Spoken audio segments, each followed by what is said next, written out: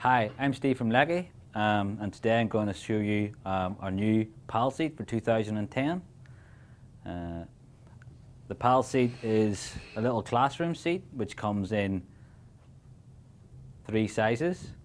Uh, you see here that comes in different colour options. What we have here is an orange one, you can't have that. Um, you can only have blue or pink. The main functions are one, the angle adjustable backrest, which is simply loosen off the two knobs at the side and you have up to 15 degrees of recline on the backrest. You also have a pelvic strap which is at 45 degrees so get the user in there and that sort of helps position your pelvis. Uh, you have a range of different side pad options. You have uh, uh, an inch side pad and a two inch side pad which simply velcro into place. You have uh, the ability then to adjust the seat depth via this little knob below. Again, you know, it's quite a lightweight product. So you have a good range of seat depth adjustment, and again, just lock that up. We have a, a flat pad and also a ramped pad option if that's if that's needed just to give a bit more support under the femur. You also have the ability then to add a pommel via this little lock at the front. So slide that in, loosen that, pull that down, lock that in place, make sure that locks securely. So you have a pommel there, which works really well to keep the, the child in the seat. Legs can be height adjusted. So you have you know, four different height adjustment options there. So simply loosen off the knobs, all four knobs, um, get it to the required height you're after, and then put the knobs back on. The good thing is that once you take the knob off, the leg doesn't fall off. It stays with the, the product, so you can't actually lose the leg. You have a foot plate option, which simply screws in either side.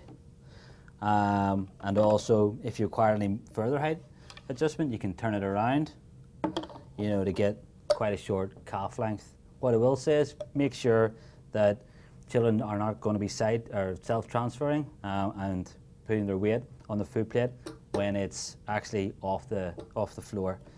Always make sure that the foot plate is positioned on the floor if the if the child's self-transferring themselves. Also with the product you have the ability to put on a rocker option, which again you fasten via some knobs. Um, but also there's a dual function of this rocker. If needed, you can spin them around. And then that acts as a stability base, uh, maybe for children that have any sort of behavioral issues or sort of rocking tendencies. There's also another option of a, a caster option.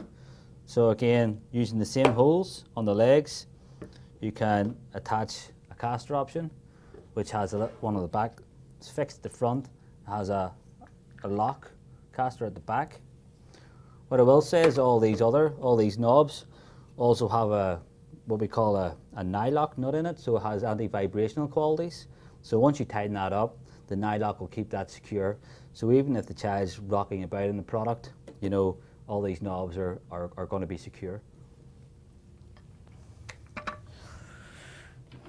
You have a tray option as well, which works really well. It's nice durable ABS. Um, you have the ability to depth adjust it again via this knob. Um, and that simply slides into position you can hear that really positive click. And basically what's happening is these little latches locking on a little stud on the armrest and then to, to take that off all you need to do is pull in the latches and slide it off. To depth adjust the tray on the product, again the little knob and then you have the ability to slide the, the tray in and out.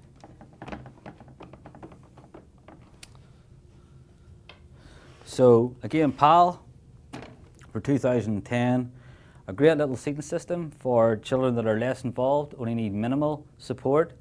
Children maybe with some Down syndrome or some learning difficulties. Great for a classroom, great, great for the home. So that's PAL for 2010.